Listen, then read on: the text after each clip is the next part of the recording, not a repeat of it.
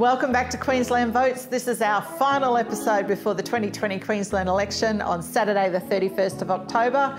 And here to tell us what to expect is Professor of Politics at Griffith University, Peter Van Onselen.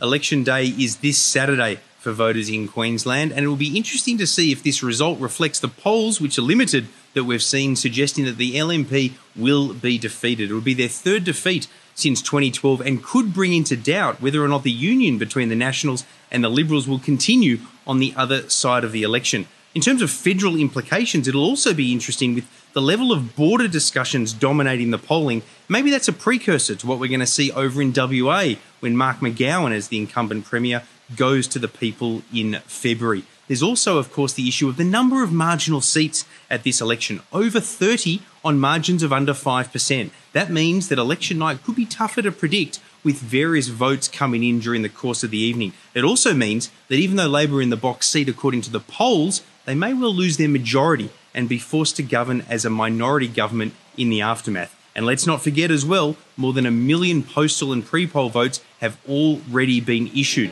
That's a record number for the state of Queensland, and that could also create a scenario where it's harder and harder to pick the result on the night. I'll be watching on the Saturday evening. Make sure you do the same. Thank you so much, Peter. And now to introduce the amazing couch of Queensland politics experts, we have Dr. Paul Williams joining us. We have Dr. Tracey Arklay from the School of Governance and International Relations. And we have our own Jenny Menzies, who is Principal Research Fellow at the Policy Innovation Hub. Welcome. Okay, so just reflecting on what Peter's just told us, what do you think? Well, that's certainly the feeling on the ground, um, having to talk, talk to both with Labor folk and LNP folk. And, uh, you know, I've done the cab driver test like everyone else. And really, the default position is that there's no appetite for change at the moment. Uh, and I've talked to people in North Queensland, and even though things like law and order are bubbling along at the surface, again, there doesn't seem much appetite for change. Uh, and this is very, I think, uh, indicative of what we saw of the 2020 Brisbane City Council election uh, in uh, in March. Again, despite Labor having the the candidate from Central Casting, uh, Labor couldn't make a dent on the LNP mayoralty or ward vote. And I'm, I'm just not seeing uh, a mood for change uh, today in the same way I didn't see a mood for change in March in Brisbane in 2020. Um, having said that, uh, the opposition leader, Deb Frecklington, has had a stellar close to the campaign. Uh, you might say that she actually won the third week. Uh, it's too early to tell. You know, I think it's probably neck and neck in the last week as we head to to, to polling day itself. And the, the, the problem with this election, of course, is that the primary votes are locked in at 37% each. And I think that the after preference vote that the major polling agencies are attributing, 52 to 40, 48 in Labor's favour, is quite an elastic number. And we know that we have what, what I'm calling the washing machine of preferences. We've got uh, so many moving parts, particularly in North Queensland, then that result could easily be reversed. It could actually be 52 48 uh, to the LNP's favour. So this election is very uncertain. I've been watching and working in Queensland elections very closely for 37 years, and this is the toughest election I've ever had to call. Uh, it is uh, remarkably close, and more to the point, I mean, some of the some of the ultra marginal seats might not change hands. No one should be at all surprised if seats like Townsville and Gaven is not lost, despite them being under one percentage point. And yet we might see seats like um, uh, uh seats like Chatsworth in Brisbane, uh, which is um, held by about three percentage points by the LNP. That's under threat, and we know that because Deb Frecklington was campaigning assiduously here. Uh, this is a this, this election might throw out some surprises yet. I think it probably will. The washing machine of preferences. I like that. What do you think, Tracey? Are you confident in any kind of call at this point? Oh no, no, not at all. I think I think that the old adage of who do you trust to manage the economy has been replaced this time by who do you trust to manage the pandemic. And I think that probably favours the ALP, but with a record number of candidates standing, preferences could go anywhere, a number of tight seats, and Queensland being so different across the different regions, it's going to be a really tough one to predict, and I'm not, I'm not going to call it for either at this stage. I can't even figure out what's happening in Mansfield, my own seat. So there you go. Now, Jenny, to you, what do you think? Uh, yeah, I agree with all of those comments. I think um, the pandemic, a crisis like that, has a really stabilising impact, so that uh, will benefit the incumbent Labor government. What really, what normally happens in elections where you have high unemployment um, and a recession is that the incumbent, incumbent government loses, even if it's not their fault. So it's just research has been done into that.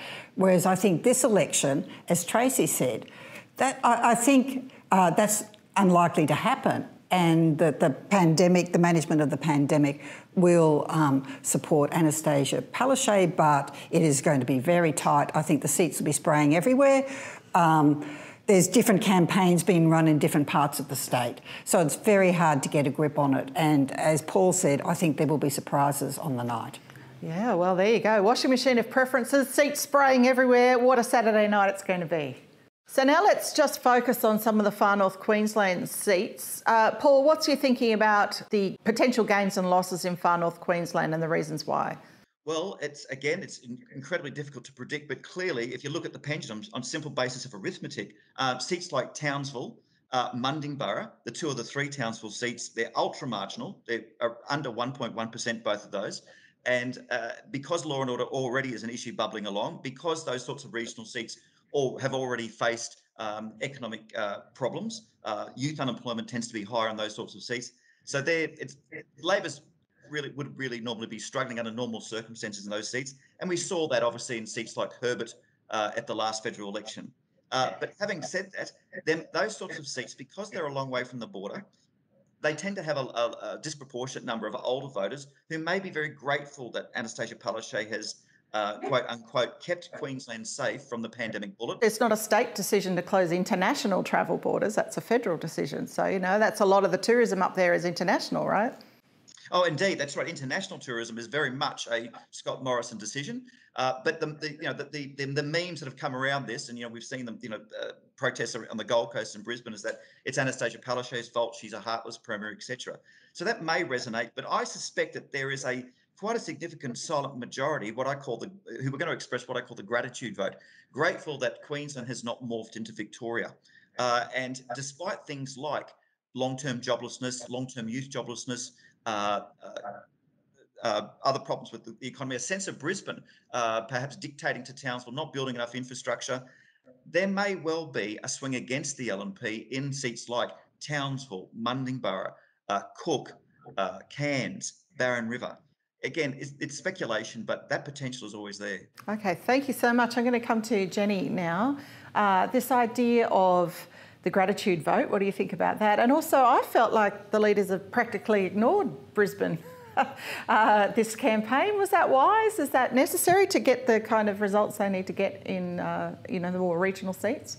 I, I, yes, I, I, think there is a gratitude vote, and I think where it will be tricky for the LNP is that it could well be Brisbane Liberals who will be expressing their vote for stability through that gratitude vote. Because the LNP didn't kind of cover themselves in glory with calling for the opening prematurely, I think, of the borders. Look, it's interesting. I had a look at, at where um, the leaders had been, and they hadn't been to Brisbane uh, very often at all, very few seats. So it seems to be Gold Coast back to Townsville, Gold Coast, Townsville, stop off at Pumicestone and Rocky or something on the way through. So that indicates to me through their tracking polling that that's stable. Because they would be all over those seats um, if they thought there was a, was a danger. So that also brings into play some of the Greens' claims about the seats that they think they might be winning in Brisbane. Uh, I don't think that's reflected uh, particularly in where the Premier has been visiting. Okay, interesting. So, Tracey, take us through what you think about some of these seats that you're most interested in on the night, and have we missed any? Uh, I think our seats are the ones that we identified right at the beginning. I think that still holds, but you know, it's going to be really interesting to see how it plays out. You know, Cairns and perhaps seats like um, Whitsunday. Jason Costigan currently you know, holds that. But, you know, the LNP might get that back. Cairns, it's going to depend on how angry they were about the border closures and how affected they are.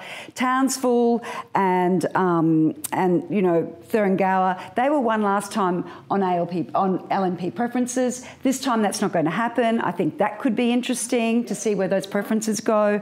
Um, Pumicestone, you know, very, very marginal. I think ALP are quite confident about that one.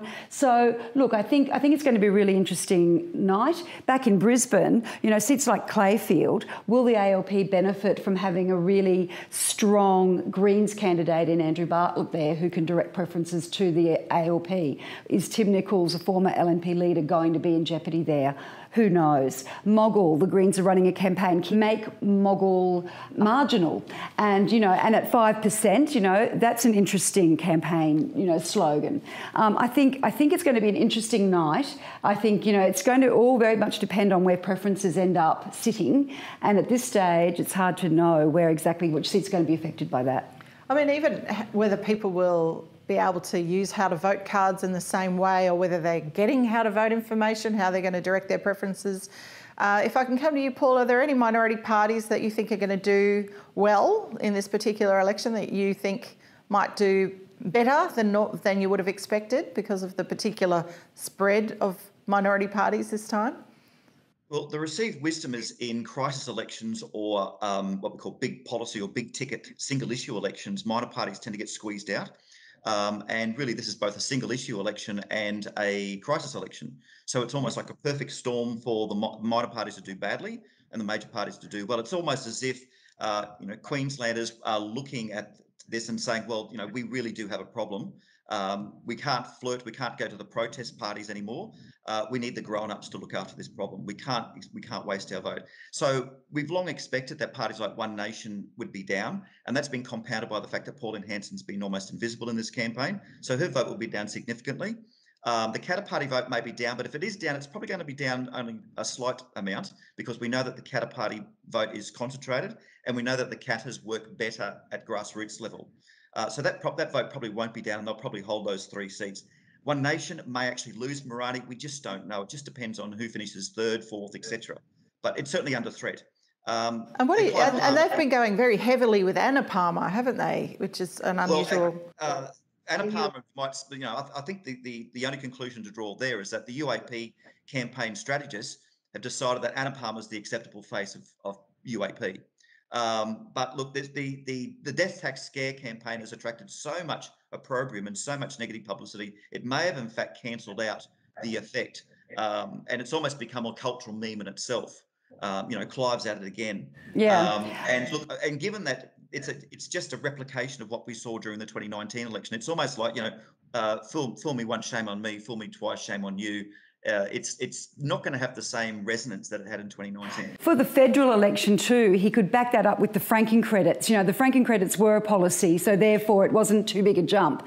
This time around, it's kind of like you know pulling out a, a trick from a, a, very old tired hat, and um, yes. you know. But boy, have they been spending some money on that campaign? It's just yeah, remarkable. Four point six million. A lot of money, but not on not on policy. Four point six million on on being a spoiler. It's yeah. fascinating having said that, the, the only party that the only minor part of that, that will do well are the Greens, uh, and that's for very different reasons. Um, if they hadn't, it, one, there's still a lot of anti-coal um, uh, anger in the southeast, and that will keep boosting their vote. They're very, you know, green hardcore Greens voters are still very angry at the Palaszczuk government over the final Adani tick. Uh, and secondly, it, the way that the Greens have campaigned. Um, Palmer, Hanson, and Katter are uh, what we call caucus cater parties. They're, you know, they, they, they have a very um, top heavy structure. They're structured around a titular leader and a personality and not much of a grassroots structure.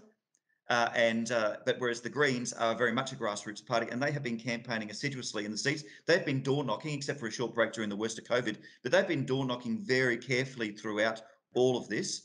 Uh, and so they so the Green votes in the post material seats in in inner and middle Brisbane everywhere from McConnel, South Brisbane, Maiwar, and Greenslopes, for example, and, and, and possibly Cooper, will really hold up. Yeah, actually, coming to you, Jenny, I mean, this uh, I've even seen strong Greens activity in the Gold Coast and the Sunshine Coast. Um, and, and definitely in Greenslopes, very, very visible. So, what do you think? Is Labor really uh, getting a challenge? Will they receive the benefit of this strong Greens campaign? The Greens also have some internal strife. Uh, they've all had internal strife, haven't they? All of them. Uh, what do you think will happen with the with the Greens it, ALP? Uh, it's always hard to tell with the Greens. Um, they always talk up a big story, and quite often it doesn't come to fruition.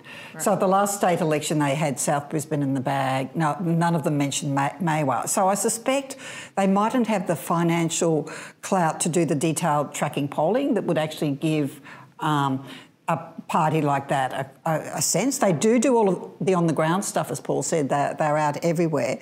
Uh, there is, I think, there's a bit of trickiness with um, getting the Greens vote up this time, particularly in places like South Brisbane, because they're reliant on LNP voters following the how to vote card.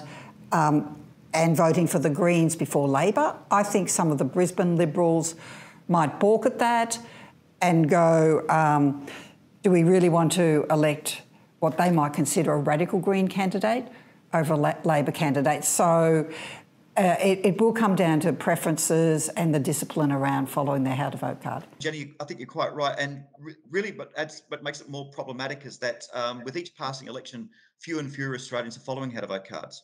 Uh, we're becoming much more independent in our uh, preferences.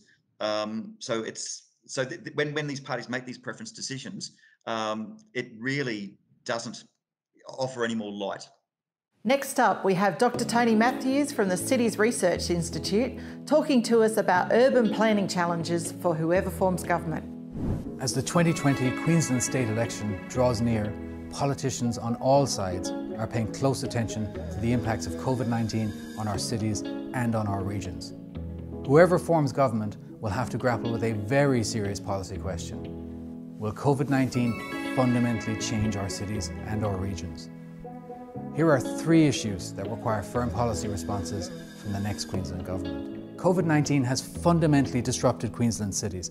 Impacts from the pandemic are being felt in many ways, with good and bad consequences.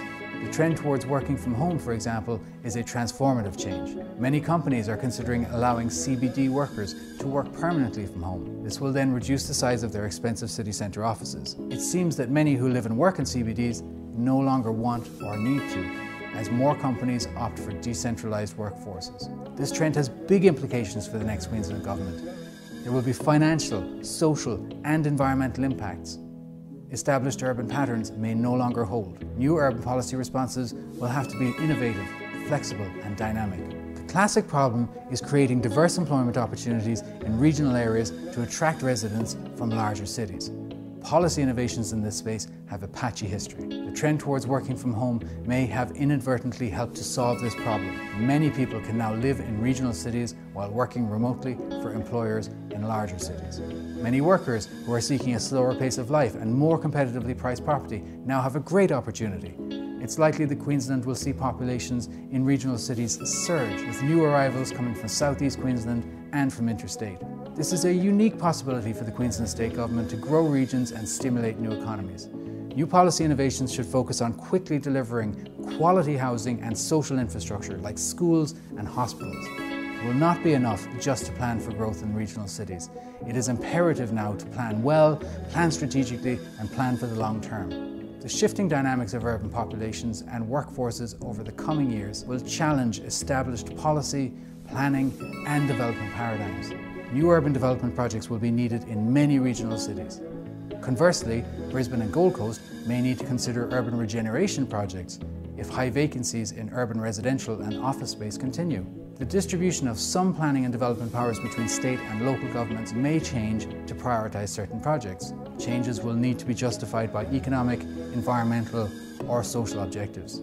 Even if this approach is necessary, it may cause controversy it may cause upheaval and certainly could cause legal challenges. It will definitely not be business as usual for the new Queensland State Government. Experiences from the pandemic mean that urban planning and policy priorities are set for transformative change. The new Queensland State Government will need to be strategic, diplomatic and brave to maximise future opportunities for all Queensland cities. I'm joined today by our expert from the School of Governance and International Relations, Dr. Ferran Martinez i Coma who is a senior lecturer in politics. And he's going to talk to us about the impact of voting in a pandemic and what it means for the Queensland state election. So, talk us through what impact it's had so far, these high, high levels of pre polling votes. To get an idea, uh, we as a state in Queensland for the local elections, the numbers were skyrocketed on, on, on the local elections in March, and now the numbers are even, even higher, right? Now, this is pretty surprising. I mean, makes sense on the one hand, given the amount of effort that the ECQ is given, right, and all the facilities. Uh, you know, for for example, ECQ has expanded the opening hours, also the opening days. Uh, but uh, but at the same time, it's kind of paradoxical because it made, uh, given in the situation we're in with the pandemic, Queensland so far, thankfully, we've been doing quite a good job, right? So in a sense, we could expect that people would go and vote and vote safely, right? However, even if we're, it's a paradoxical situation because we're in a safer situation than we were in March, but the numbers are right now. It's you know we have no records. Yeah, it's it's the highest that ever been. So it is it is quite paradoxical. And the other thing to say is that the Queensland situation is not unique. Uh, the good news again is we have it easy in order to vote. So uh, you know you just want to show up and, and cast your ballot early. That's that's great. But in other countries, like you know, in in the U.S., for instance, I was looking at some some numbers, and you know, just to give you an idea, I think it's North Carolina in the 2016 election, just in the state of of North Carolina, which they're voting actually after us, right? Uh, they only had 25,000 early votes. This year alone, as of yesterday, was 204,000. So the AAP this week has reported some really high turnouts in particularly marginal seats, uh, but then some very low turnouts in other uh, still very marginal seats. So what is the explanation for this variation in the data? Those those uh, seats in which uh, you we observe higher proportion of early voting, as you were pointing out, they tend to be urban urban urban settings with you know the district size basically the electoral division is much smaller than some others. So for instance condamine as we were mentioning it's over 5000 square kilometers. Those those seats with uh, higher turnout that we've observed tend to be smaller so more urban concentration. Now there as you were pointing out there there are some seats that are limiting. So for instance um, in Townsville you have uh, which is limiting with the other and in one of them you observe as you were pointing out over 30% of people have already voted and in the other one is like not even 7% so something is going on there. Now though more importantly the question is how is this going to affect candidates and parties right? Because because they've barely been out of townsville right? I mean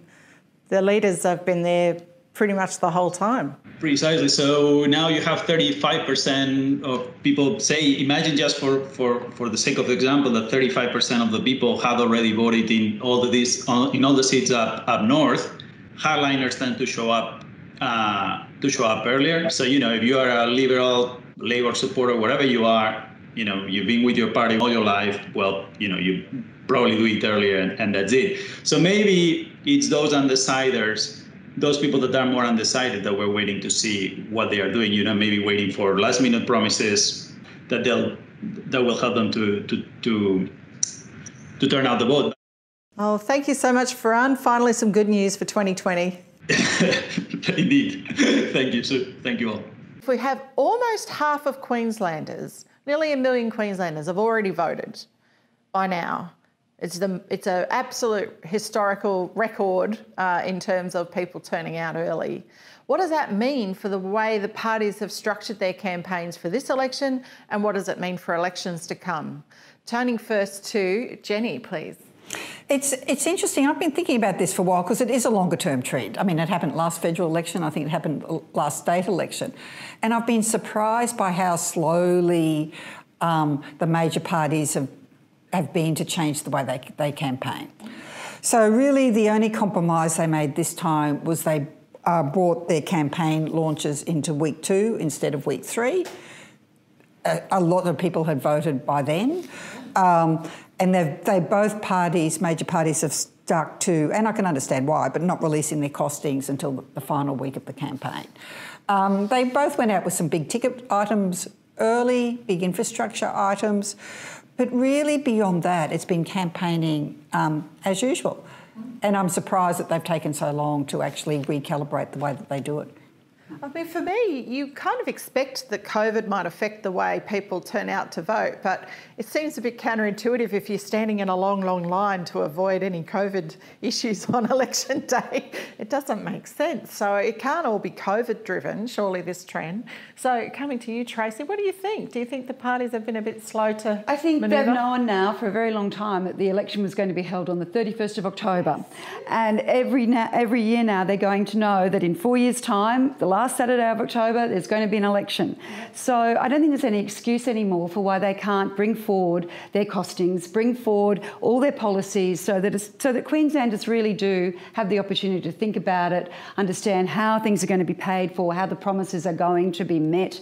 And, and really have a have a have time to think about that. In a democracy, that's I think the minimum that we can expect from the two parties vying to be the government.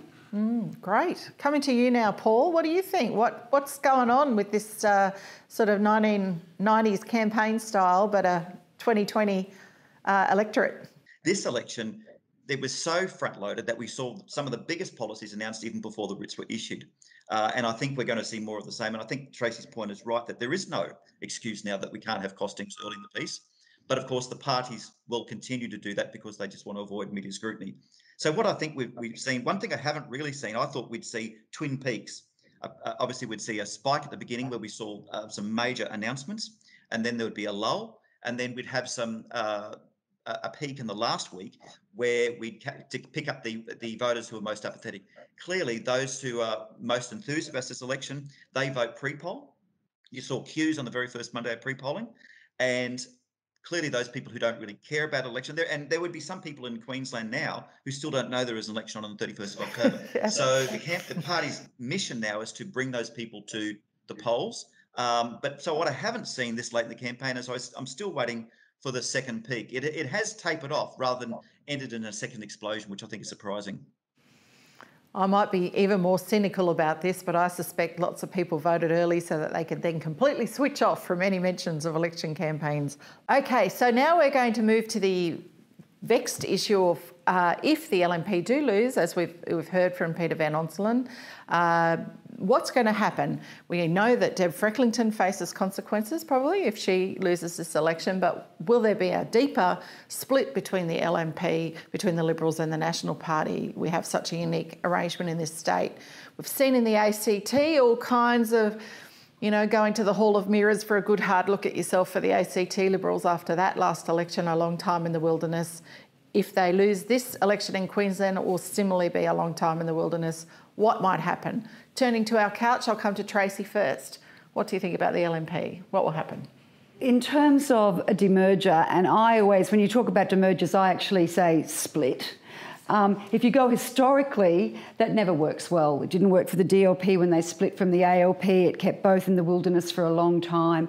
I understand why some nationals would be thinking this isn't helping our brand, being so tightly linked to the to the Liberal Party, but realistically, if you look at what happens in New South Wales, where the Nationals still are an independent party, they're separate from the Liberals, they've got real competition against the shooters and fishers. Up in Queensland, the old national brand is sort of being, you know, taken over by parties like the Katters Australia Party. Both shooters and fishers in New South Wales, Katter Australia Party here are more national than the Nationals are now. It's a real dilemma for them. I don't think um, splitting from the LNP is going to help them really. I think, you know, it's bad times ahead for the National Party everywhere, but um, you know it's going to be interesting to see what pressure you know mounts to see whether they do actually break away. Mm, interesting. Um, I'll come to you now, Jenny. What do you think about this whole issue of what will happen to the LNP should they lose? Well, they'll certainly have to have a good hard look at themselves because it has shown that they've been reasonably unelectable in Queensland over a 30 year period. And that's that's kind of, you know, getting in there with Labor's long period in the wilderness from the 50s to the 80s. Um, so there obviously needs to be a review and a rethinking. I think uh, the LNP have to think about, well, are their differences irreconcilable? Um, and um, you know, what is keeping them together. So it's a bit of a going back to a basics thing, like, you know, what do we gain by being together? And it's all a bit complicated because I'm not really sure what that conflict with the administrative wing is about as well.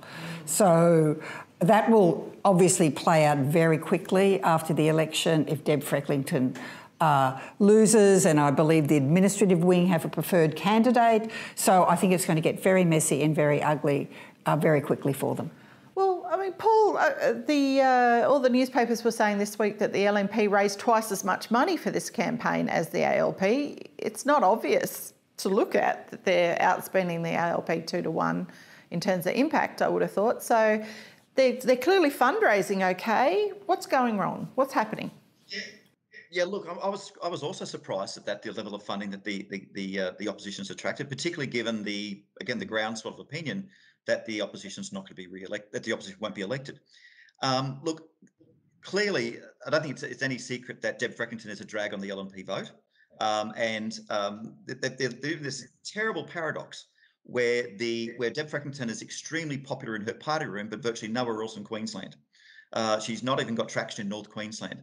Um, and this speaks to the dilemma as to where the party is going to go post election. And on the one hand, there's a strong argument, historical argument, that if the LNP fails for a third time and they're looking down the barrel of four years of opposition, and this really sticks in the core of LNP MPs if you speak to them, they don't want to be in opposition for four more years. Um, there's a, there is a sense that the parties would go their separate ways. However, it really is contingent upon the relation or the, the ratio of old tribal Nats to old tribal Liberals in the new LNP uh, party room. At the moment, the old Nats, those who identify as old Nats from regional Queensland far outweigh those who identify as Libs. You've got about five in the Greater Brisbane area and a contingent on the Gold Coast. Um, so far less than half. So in that sense, Nationals don't necessarily want to see the LNP dis- dissolve because uh, it's their party. They see it. They really have seen it as a national party, and they've got one of their own as leader. Deb Frecklington is a farmer from Nanango. She's one of us. Um, it's the Libs who might actually pull the pin on the merger uh, because they're sick of coming second. But again, it's really contingent on federal intervention. I mean, that you know, we remember back when the LNP wanted to form, John Howard said, "No, you're not going to have, you're not going to merge the Liberals the Nationals," and that was a major sticking point. It may come down to the fact that Scott Morrison might um, veto this idea. The federal secretariat, the federal executive, might veto the idea as well. So three years ago, I was convinced that the LNP would dissolve at some point. Today, I'm not so sure. It might be hang around for the much longer term. Yeah, well, I mean, it's interesting. It should favour different types of campaigning around Queensland. The Queensland election is a history making one. For just the second time in a state campaign, two women are going head to head. Does this mean that gender equality issues are finally writ large across the election campaign, though? Sadly, neither Labor's Annastacia Palaszczuk nor Liberal National Party's Deb Frecklington appear to be interested in highlighting the needs and perspectives of women ahead of election day. Just because both leaders are women does not mean that women's issues or even a focus on female perspectives is featuring on the campaign trail. COVID 19 has hurt women's work and has led to the so called pink recession. Women are more likely to be in part time, casual, or insecure work and to work in industries most affected by lockdowns and economic turndown, such as retail and hospitality, tourism, human services, creative arts, and education. But despite this, the leaders are making male dominated industries the focus of their campaigns. While there are some exceptions, they're not generating significant attention on the campaign trail. Both major parties need women's votes to claim victory. The latest Roy Morgan poll for Queensland shows that women favour the ALP 53.5% over LNP 46.5% on a two party preferred basis. Women's perspectives may not be dominating the campaign, but they will be crucial when it comes to the result. Regardless of the election outcome, we can be sure that without either leader stepping up more strongly for women and being supported by their parties to do so, this election will also be a historic lost opportunity. So, in this incredibly tight election, there's a lot of discussion about a hung parliament. Uh, should there be a hung parliament in Queensland? If it's the ALP, they might form government with the Greens. If it's the LNP, they might form government with the Katter Party as the two most likely options. So if that happens, what are these parties going to want? I'm going to come to Jenny first. What will the Greens want? What will the Katter Party want? Are there any other um, entities we should be looking at in terms of a hung parliament? Uh, the Katter Party actually have a very clear agenda. It's up on their website. Um, and it's a and, and it's a long tradition in Queensland. So it's it's uh, they want to get rid of a lot of the regulation that annoys them that comes from Queensland. So it's uh, uh, thinking about being able to develop um, untravelled. So whether it's resources or agriculture or whatever. So there's a whole lot of stuff that flows off from that. Um, they want uh, guns uh, deregulated to a certain extent, particularly for farmers. Um, it's a bit of agrarian socialism. They want a rural development bank to help agriculture. They're interested in um, North Queensland seceding from the southern states. Um, so they will have a clear agenda about wanting that kind of stuff from the from the LNP, and they will find some sympathy with some areas of it there. Um, the Greens, their, their thinking is not as specific, and because it's more of a democratically based party, I think there will be a lot of behind the scenes. Uh, consultation with membership of the Greens about what they would take to discussions with the um, ALP, but things like coal and resources and Adani would be in that mix. Yes, you're seeing that in the ACT, aren't you? This kind of very democratic grassroots. Now we've got six seats. What do we want to do? It's not like any other party in that sense. Um, so coming to you, Tracey, what do you think? Hung Parliament, how would it work? Ah, look, there's would always talk about the hung Parliament and producing chaos, etc. I actually personally think that in a state like Queensland, I mean, we've had we've had minority governments before. They've worked quite well. We've got the example of the Gillard government, and whether you liked what she did or not, she certainly was productive. You know, Parliament continued to work, policies continued to be developed. So, you know, all the stuff that the parties put out about hung parliaments being a problem, I don't actually concur with. And I think in a state like Queensland, when you've got a unicameral system, where you've got a committee system that works uh, okay at best some of the time. Um, having, the, having to actually negotiate with others might actually be really good in terms of policy development. Um, it depends, though, on how pragmatic and realistic the Katters Australia Party are or the Greens are on the other hand, and how willing they are to compromise, because as we know, governing is all about compromise. No one can get everything they want. So I think that's going to be the challenge. Those negotiations are certainly going to be interesting and probably tense. But I don't think a hung parliament is, is necessarily a complete disaster for Queensland. Mm, that's, that's very interesting. It certainly hasn't been for the ACT or other jurisdictions where, you know, voter satisfaction is very high. So what do you think, Paul? Do you think this uh, hung parliament would be disastrous rhetoric is, is justified for Queensland? Well, it's certainly on the cards. As Tracey said, we've had them before. We, you know, Queensland went from 1915 to 1995 without a hung parliament. That's 80 years. And since then, we've had three, and we could be having a fourth. So that's just indicative of the volatility in Queensland politics. Um, it doesn't have to be a bad parliament. I mean, the, the um, the uh, respected commentator Noel Preston wrote a very good paper about how the 90 uh, uh, the, between 95 and 98 there were some of Queensland's best uh, parliamentary performances because it was a knife edge parliament under the Borbidge government. Um, in terms of demands, um, you know, I think you know whether it's Katter trying to form with LNP or or uh, Labor or Greens trying to form with Labor, I think their first demand or request will be a cabinet spot. Now, of course, that will be ruled out immediately because that reeks of deals. Um, so when these, when both the opposition leader and the premier say there are no deals, what they really mean is that there'll be no cap, there will be no coalition. there will be no cabinet spots. But of course, there's going to be a deal in terms of confidence and supply.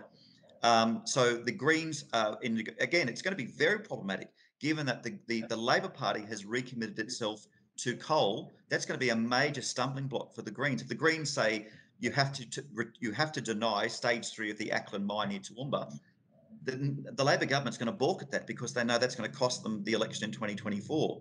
Um, and they and and if they're working with the Katter Party, the Katter Party will say if, if, if Labor's in position to form minority government, the Katter Party will say wind back the Vegetation Management Act, and again that's not negotiable for Labor.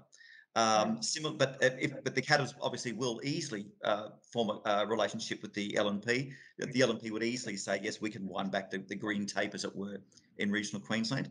Um, but again, it's contingent on what flavour the Labor Party brings to the negotiating table with either the Katters or the Greens is, is again uh, contingent on the proportion of of the left factions uh, and the seats that they win.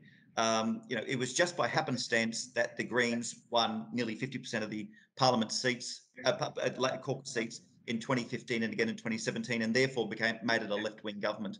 should the AWU return to its position of dominance that we've seen since 1989, but before 2015, you'll see a much more economically focused, pragmatic government that would, it may well do things like um, modify environmental protection or uh, and and um, and and perhaps uh, issues around mining.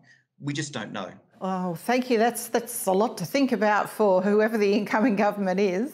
So I'm coming to last thoughts from our panel now, and we're thinking about even though we're obsessed with Queensland politics, we all have to agree it's been a little bit dull uh, this campaign, and it shouldn't have been. It should have been historic for many reasons. During COVID, fixed term election, everything to play for, uh, federal implications, female leaders for the first time, should have been epic, was kind of a little dull. What's going on and what are the implications for the federal election? I'm going to come to you first, Paul. Well, I did think it was dull. It was the dullest one I can remember. But again, going back to the um, the idea that there's no appetite for change in the electorate, the Brisbane City Council election was extraordinarily dull. Um, I think this this is uh, obviously, I think there's an air of sobriety, not just in politics, but you know, everyone's quite sober, everyone's quite austere, uh, everyone's very serious, um, and I don't, and I think the parties were aware of that, so they didn't want a lot of razzle dazzle. Um, they knew to keep it serious. They knew to keep it austere. Um, and also, on top of that, you've got the lack of federal intervention. We didn't have the federal leader. We had one Scott Morrison visit, and I've never seen a federal leader enter a state campaign and then depart and leave so little trace. Uh, it was almost like he was never here. Uh, and similarly, we had no federal Labor uh, uh members coming. Uh, compare that to the 2019 election, where you had, for example, Bob Brown and the Greens convoy. You know that sort of colour and movement. Um, so the COVID environment, where everyone was feeling sober and austere, the lack of federal intervention, uh, and just the fact that it, it's it was um, designed. I think Labor designed their campaign to be rather um, no frills because they know that uh, no frills campaigns um, in a time of crisis or a big ticket uh, campaign, big ticket election does favour incumbents. And we've seen that reflected in the Northern Territory, the Australian Capital Territory, and New Zealand. So I think that was, again, partly happenstance, but partly by design in Labor's case. I mean, I guess we should be grateful it was a civil election, no big gaffes. Um, but I feel like it, it could be austere, but it could still have a bit of inspiration. I guess I was looking for a little bit of inspiration because you know, a lot of Queenslanders are facing the most hardship they've ever faced in their lifetimes. I expected to see a little bit of empathy for that um, from the candidates, which we really didn't get, I don't think. Um, and all the high vis and hard hats just sent me out of my mind, as you frequent viewers may have noticed. So, uh, coming to you, Jenny, uh, what do you think? What, what are the implications for the federal election? And, you know, did it have to be this way?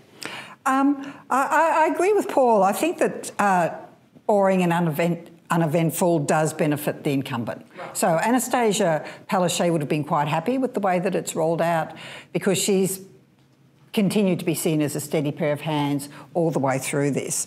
Um, and, and, and with the kind of the vision and the big picture stuff, it's always a bit tricky for uh, state governments because their issues are really the bread and butter issues. So the, the, um, the crime stuff does get a bit of traction, health. Got very little traction at all this campaign, which is interesting because we're in the middle of a pandemic in which the health system has done extraordinarily well. So it's hard to get above some of that.